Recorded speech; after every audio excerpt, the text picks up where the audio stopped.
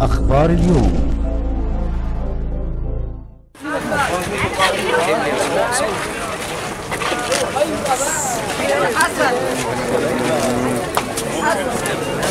صعب يا جماعة صعب صعب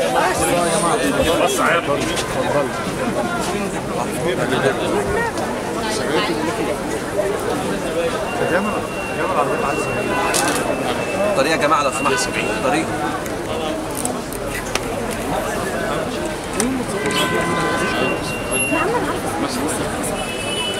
طريق لو سمحت بعد